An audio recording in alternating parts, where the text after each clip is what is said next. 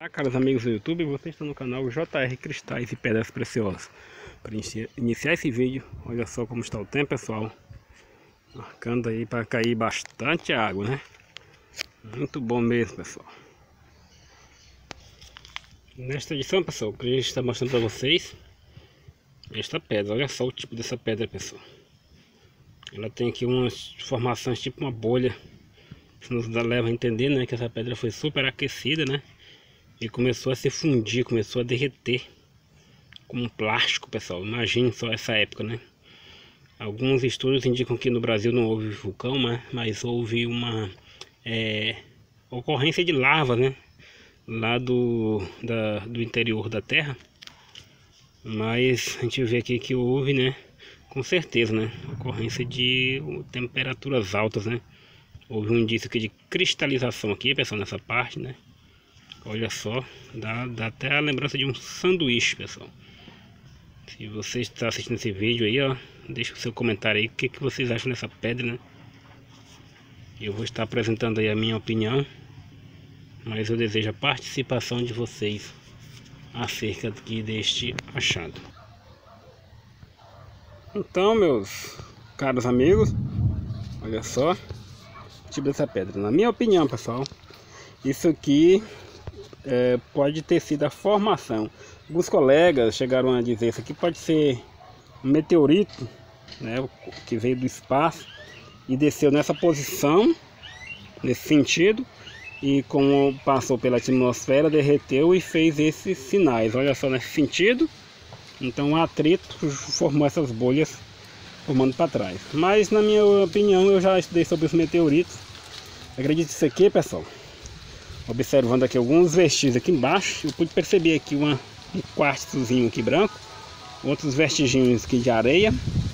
Então aqui eu percebi que esse aqui se trata aqui de, de uma, um material que foi derretido na época da vulcânica, né? Mesmo que não, não foi através do vulcão, mas através de larvas, né? Que brotavam da terra. Então, então formou e onde essa lava passou, é, saiu juntando, grudando quartzo é, a areia e vários materiais, como eu posso ver aqui embaixo, aqui é indicativo de quartzo.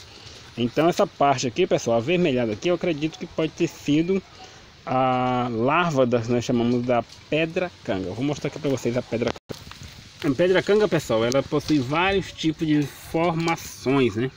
Podemos dizer variedades de pedra canga. Aqui está uma variedade de pedra canga ela é bem porosa, pessoal. Material bem fininho. Quando você quebra, bem vermelhinho dentro. É, composição férrea. Bem avermelhada. Aí já tem outra formação da pedra canga, pessoal. Que é assim já mais escura. Olha só. Ela já é assim. Ela é bem mais porosa do que essa aqui. Pedra canga. Parece um material bem mais fininho. Isso aqui já parece que já tem mais um material assim, tipo nós chamamos aqui de gorgulho, pessoal, que é isso aqui, ó. Né? Formando isso aqui. Olha só, aqui já mostra uma pedra canga aqui mais porosa, né? Bem grossa. Aqui temos aqui um, várias pedras, né? Quando esse material derretido, onde ele passou, já passou no lugar onde já viu esse tipo de pedra aqui antes, que são essas aqui, e o material grudou, pessoal, essas várias pedrinhas aqui, ó. Possivelmente na era mesozoica, né? Alguns, segundo pesquisa aí, diz que há mais aproximadamente 200 mil anos é no mínimo, pessoal, o, o tempo em que houve essa alta temperatura. Então, pessoal, aqui também temos essa outra pedra aqui que eu achei interessante, peguei para mostrar.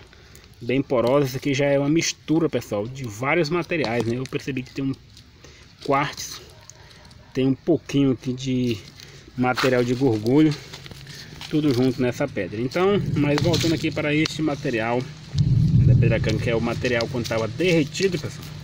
Eu entendo que isso aqui não é nada mais, nada menos do que esse material puro, sem ser dessa forma aqui, né? Esse aqui já grudou em muitos materiais, muitas pedras coladas, pessoal. Esse aqui eu guardo como uma peça aqui de coleção, porque eu acho muito bonito isso aqui. Essas pedrinhas aqui coladas naturalmente na época, da época mesozoica. Então, na minha opinião, essa formação aqui, pessoal, quando foi derretida a pedra, porque ela estava só líquido, ela não teve contato com areia, nem com quartzo, nem com nada, então isso aqui é o exemplar dessa rocha magmática, né, derretida, né? Então teve essa formação, ela estava nessa posição, então quando ela ela estava tão quente, então ela começou a escorrer. Então essa aqui é a minha é o que eu acredito que pode ter sido acontecido. Agora, se você tem outra opinião, pessoal, deixa aí nos comentários. É, e vamos aí enriquecer o canal trocando conhecimentos um com o outro. Então fique com Deus, pessoal, e até mais. E fique com essa linda imagem do céu que nós temos aqui.